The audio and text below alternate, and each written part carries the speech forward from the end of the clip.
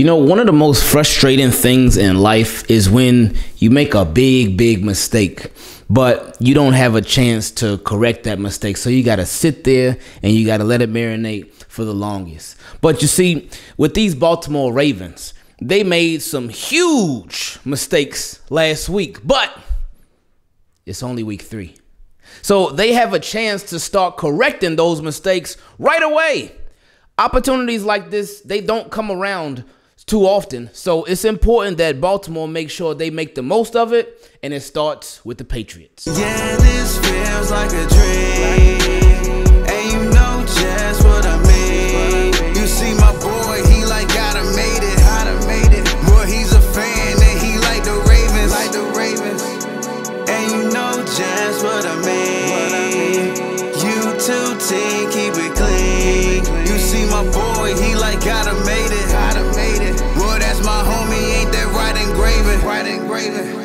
YouTube team, keep it clean. What's going on? It's Ingraven here with another video. And in this video, Ravens got a game who's sitting at one and one.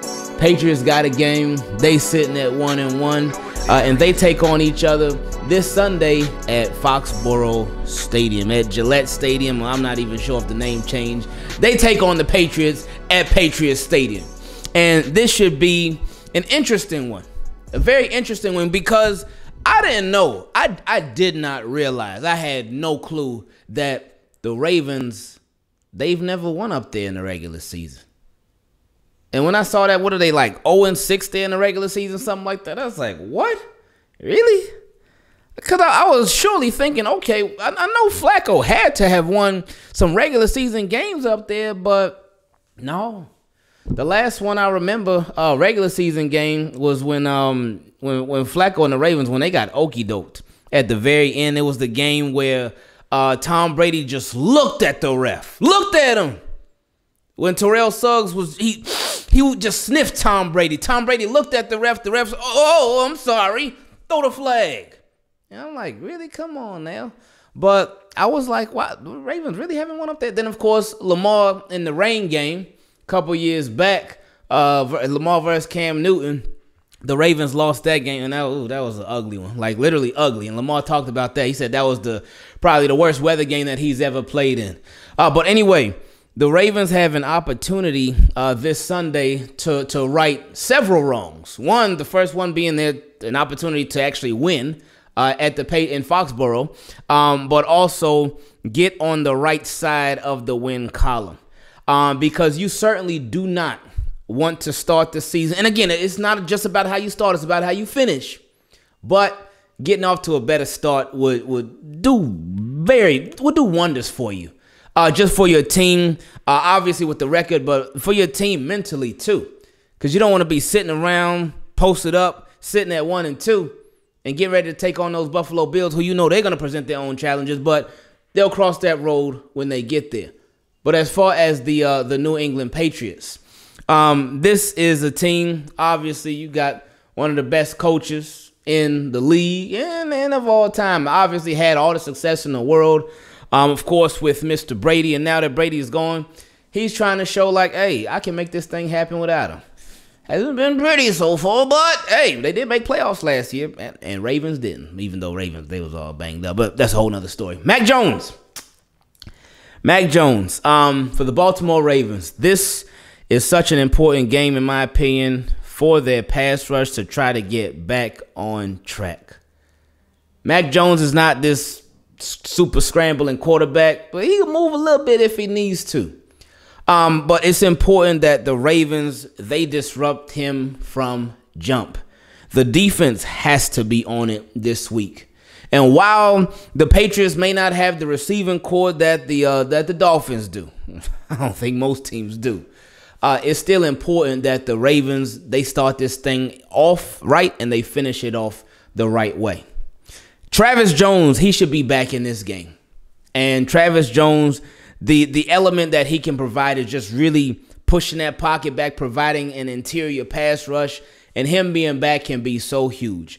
I would also love for Justin Madubuike to have a bounce back. Well, really the whole Ravens defense, but specifically Justin Madubuike to have a bounce back game. In week one, he looked amazing. Amazing. And then week two, we didn't really hear much from him at all. So it would be nice if they could cause interior pressure on this young quarterback. Because if you start giving them interior pressure, like if you run, you, you could you could run to the right, you could run to the left or whatnot. But then, hey, that's when you got Justin Houston in the way to go ahead and close that up. Interior pressure, in my opinion, is some of the best pressure because if if if pressure comes from the outside, he could step up.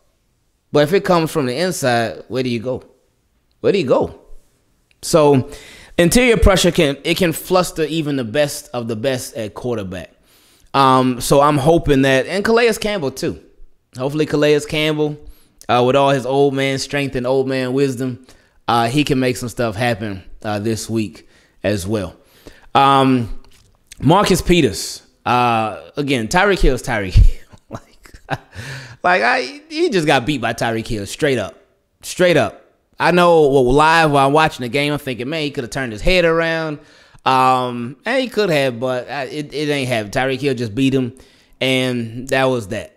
Uh, so Marcus Peters this game now now he's got a, a, game where he got to sort of get his feet under him and whatnot get to get back in the scheme of things. And will he still be on a pitch count this week?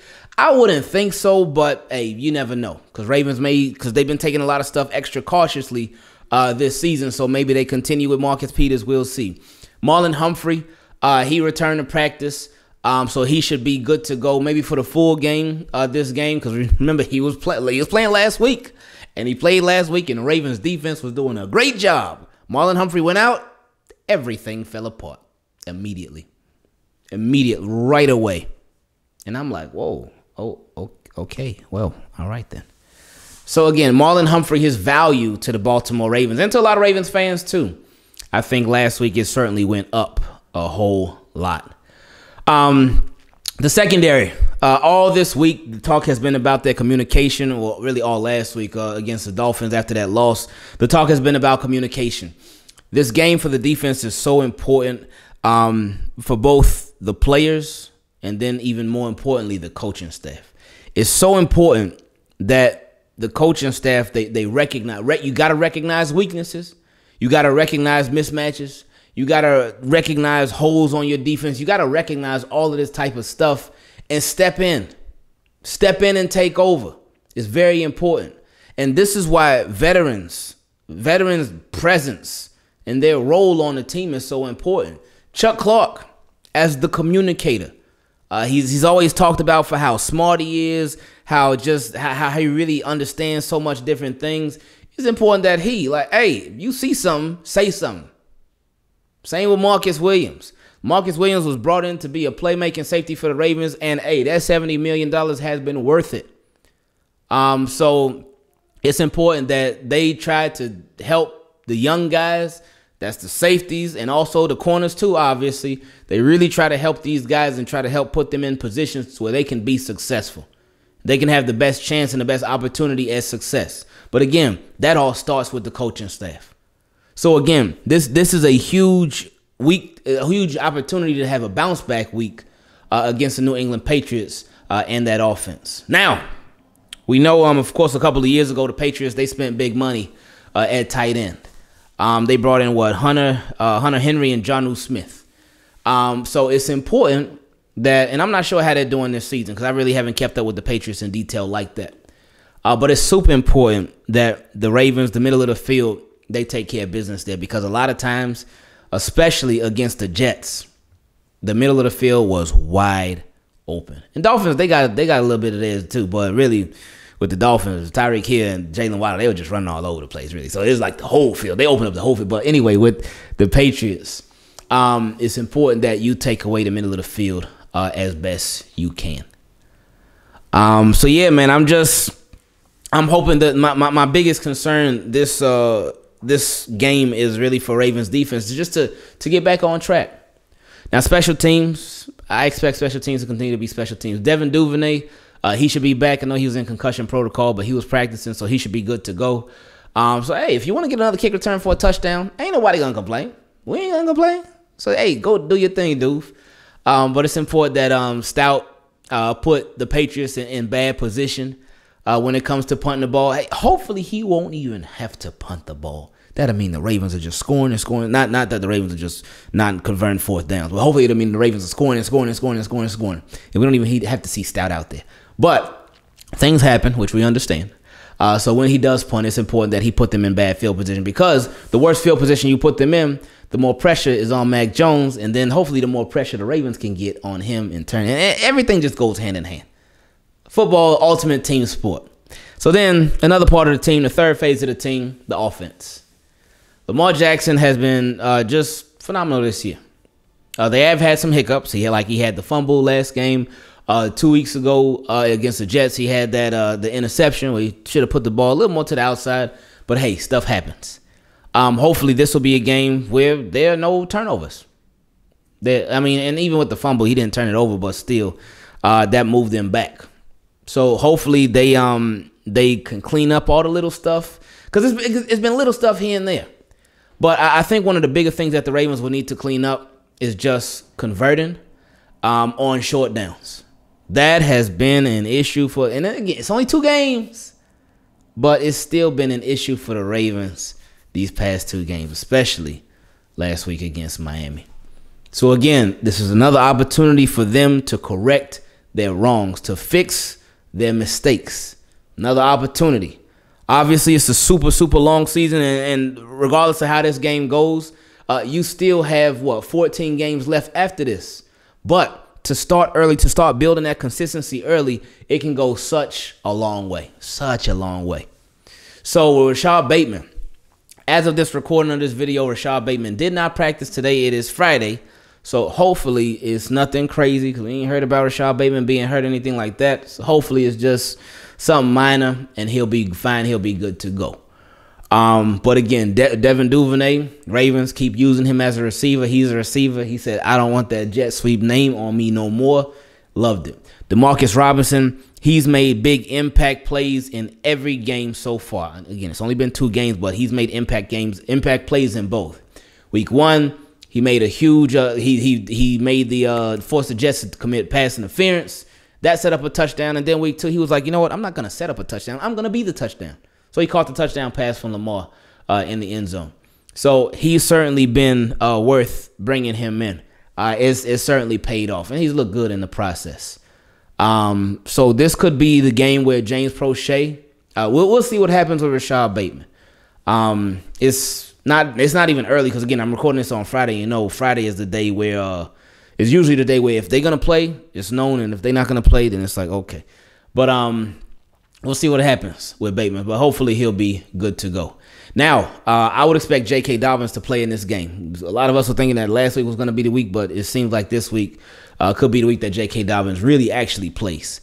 Um, so will he make the big difference uh, in this run game? Hopefully, a, a, mix of him being back and also the uh, offensive line just blocking better. Uh, if I was the Ravens, this would be a game where I would actually have Josh Oliver inactive and have Nick Boyle active, just, just for the run game alone.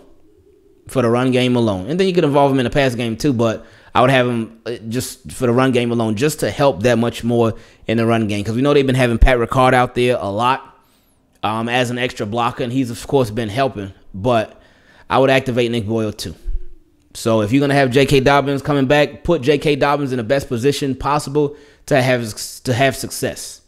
So bring your bring your big blocking tight end back. Might as well. it's like it's what you get it. But anyway, um, in this game, I uh oh, and and, and Greg Roman situational. Hopefully the Ravens situationally this this game they are on point because Bill Belichick he watches for all that stuff. Bill Belichick is a mastermind when it comes to situational play calling, and because there've been there've been times over the years where you're like, what is Bill Belichick doing?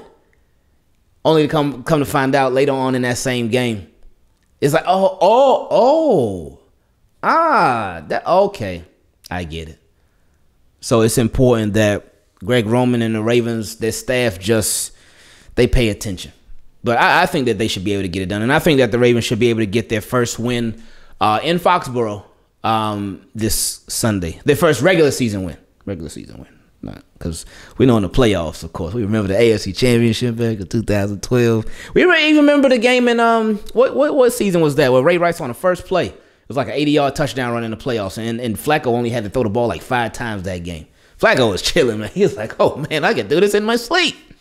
Um, but yeah, I think that the Ravens they come out on top on this one. I am going to say, uh, I'm gonna say 27 to 10. I'm gonna say 27 to 10. I think the the defense has a big bounce back game.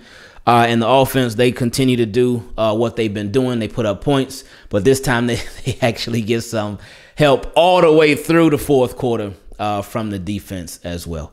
So I'm going to go 27 10 Ravens on top of this one, and we'll see how it goes. Yeah,